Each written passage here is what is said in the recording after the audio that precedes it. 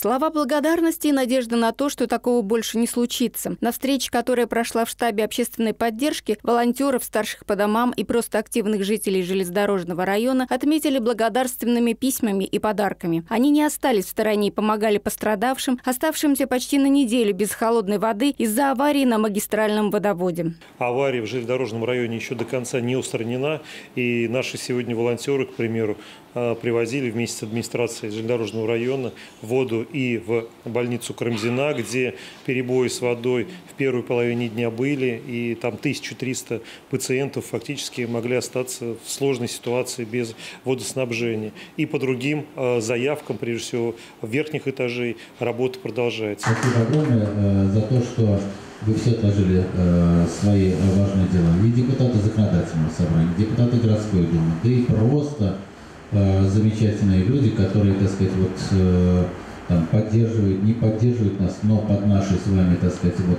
э, общей, так сказать, там, эгидой э, решили глобальнейшую проблему. Не было такого. Вот реально. Не было за всю историю, я уже говорил, почти 400 лет э, Симбирского, Ульяновского, э, и никогда там не было никакого э, схода грунта.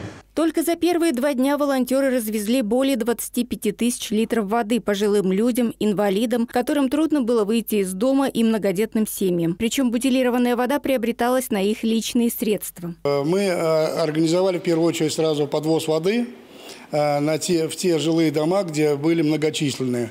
Вот. Также организовали э, доставку воды инвалидам, Э, те люди, которые сами им не могут, э, не могли и не могут двигаться, э, все, которые нуждались в этом, в помощи доставки питьевой воды. Конечно, мы не смогли остаться в стороне, быстро собрались, быстро приехали и начали уже на месте оказывать помощь по тем адресам, которые на тот момент были получены. В тот момент, когда мы привозили воду, конечно, жители видели то, что работает доставка, они были этому крайне удивлены. К ним подключились в качестве волонтеров сами жители района. Считаю свой поступок каким-то подвигом. Просто можно потратить 40 минут своей жизни, чтобы потом было о чем вспомнить. Представители администрации города и района находились на месте аварии с первых часов, а затем организовали бесперебойный подвоз воды во дворы. В ответ только слова благодарности. Воду подвозили всегда. Заботились, все об нас заботились. Здоровью всем.